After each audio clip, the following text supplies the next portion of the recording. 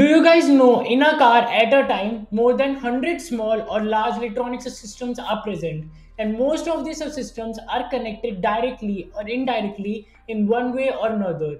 Now virtualize that there is a car and it has an airbag control system which is controlled according to the vehicle motion monitoring system. If vehicle motion monitoring experiences a sudden brake or impact, the airbag control system will be turned on. For your understanding, let's say airbag control system is at node A and vehicle motion monitoring system is at node B. And node B is situated at the front of the car and node A is distributed on every seat of this vehicle and so node B and node A are connected directly to each other. But now let's say there is a one more node C and node C is a car backlight. Now node C and node B are connected in a way if the vehicle motion experiences a certain brake then the backlight has to be turned on immediately. So car's backlight is at the back. So node c is at the back of the car and node b is at the front of the car.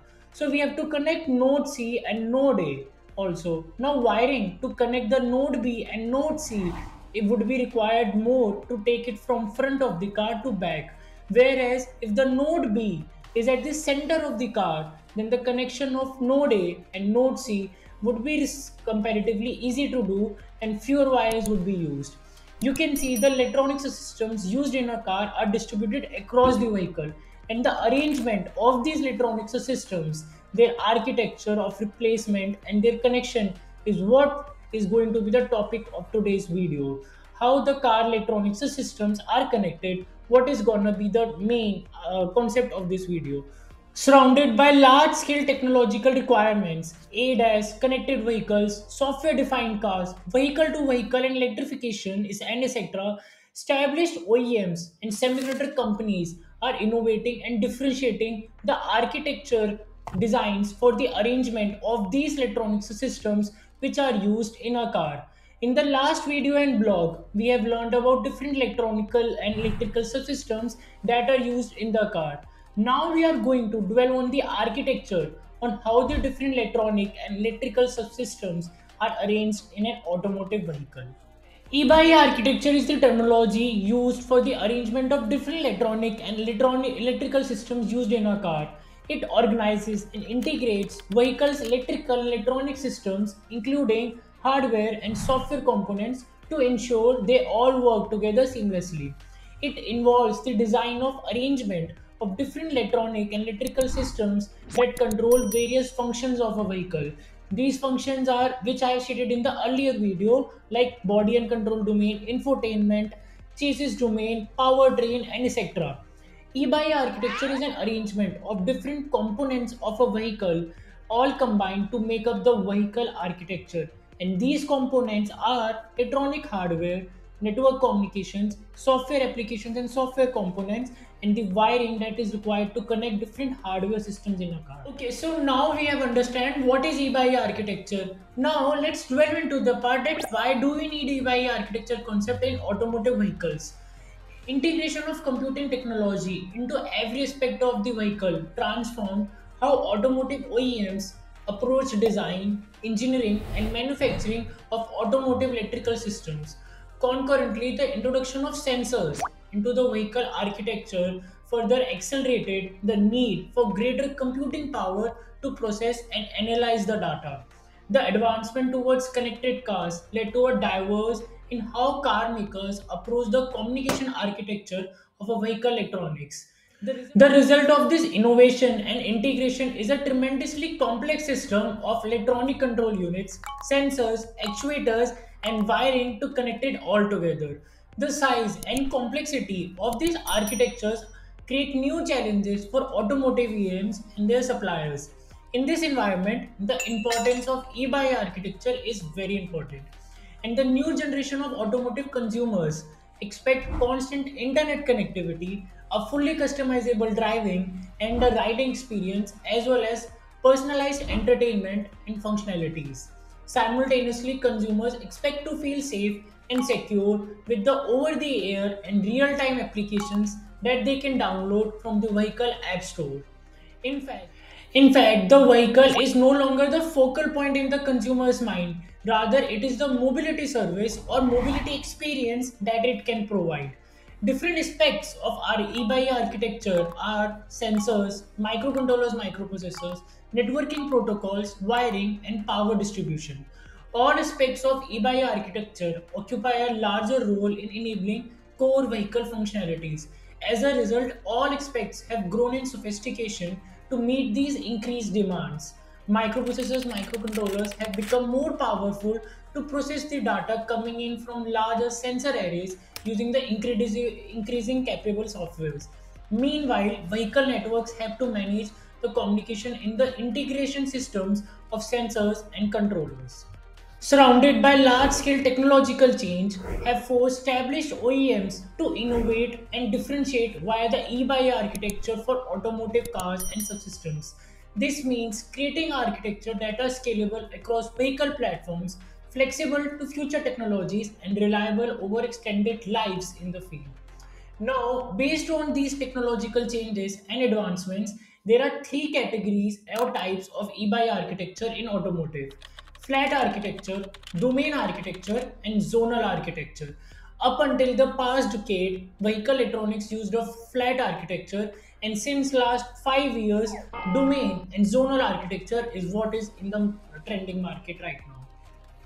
In the context of automotive engineering, a flat architecture refers to a system where embedded electronic control units, that is ECUs, are acting as an individual system. The flat architecture was characterized by a limited communication between the ECUs that are scattered throughout the vehicle. As you can see from the photo, the communication between the ECUs is not directly possible uh, as you can see. Simple ideology in the 1970s was to automate the parts of the vehicle to introduce new features in the car and implement them via ECU integration. Everything needed to implement in the electrical and electronic systems of the car from sensing to actuation is connected to an ECU. And ECUs are built on some microcontrollers or microprocessors and they are normally connected via a bus such as CAN and once implemented, the software is only updated if a problem is detected and only after considerable effort of testing and a vehicle recall. This approach did not optimize for wiring and the ECUs operated together in a limited way. This approach was used until the past decade when the integration of computing technology was not there in every aspect of the vehicle. To virtualize flat architecture, it somewhat looks like this. Current e-by architecture primarily employs a domain architecture that brings together the domains of the ECUs that perform similar processing. Automotive vehicle is divided into five domains that cover all the electrical electronic components of the car. And these domains are HV or EV domain, also termed as powertrain, chassis domain, body control domain, HMI domain, and telematics domain.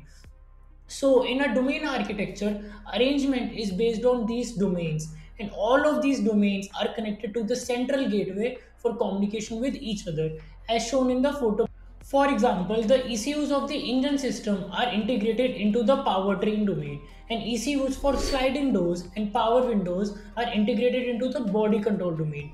Both the power domain controller and uh, body control domain are connected to the central gateway thereby reducing the number of ECUs and wires and reducing the number of parts also contributes to reduction in the vehicle's weight and development costs.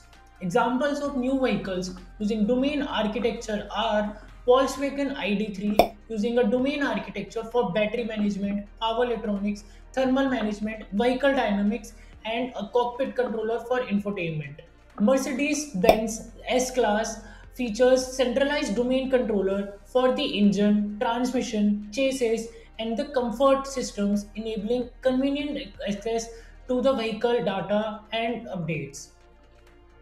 BMW X7 features a centralized domain controller known as the Integrated Chassis Management IC, ICM, responsible for controlling various functionalities such as driver assistance, park assistance, and remote control monitoring.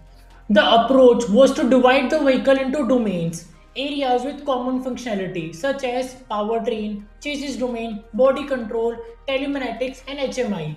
The electrical electronic systems of each domain is connected to the corresponding domain controller and then connect these domain controllers to the central gateway for communication between different functional domains. However, in zonal architecture, the car contains around 70 to 100 ECUs, and in future vehicles, OEMs and semiconductor companies want to consolidate these into fewer units so that less wiring is used and more flexibility is there to upgrade the vehicle with new technologies.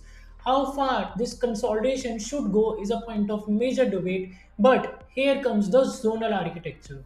The idea behind zonal architecture is that instead of organizing the arrangement of automotive electrical and electronic parts by domains, a zonal approach organizes the arrangement according to the location where these parts are to be fitted. That is, in the case of zonal architecture, automotive vehicle is divided into different zones according to the different locations of the car. This photo illustrates the better understanding and clarity of this zonal architecture. The zones can have different electrical and electronic parts of different domains depending upon the location of the car.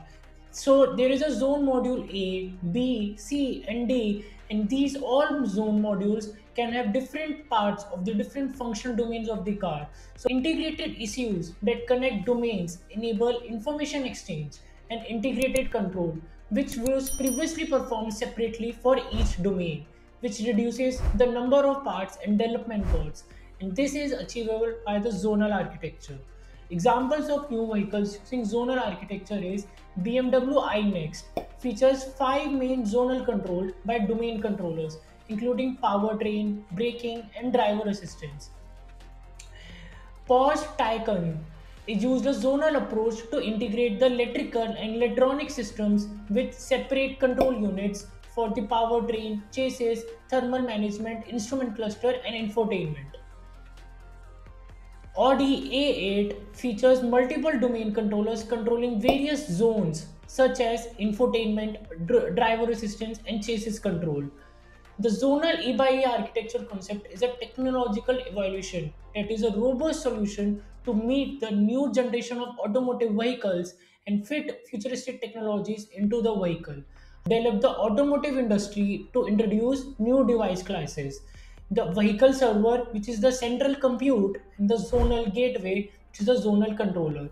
The zonal controller is the one that is connected to the different domainer domain controllers of the corresponding location, and the, all these zonal controllers are connected to the central uh, gateway. This reduces the number of physical ECUs and enable the use of Ethernet and variety of flexible or hybrid communication network topologies. That's it for now. If you want to explore more about automotive technologies, check out these videos too. Till then, stay safe and share the video among your friends.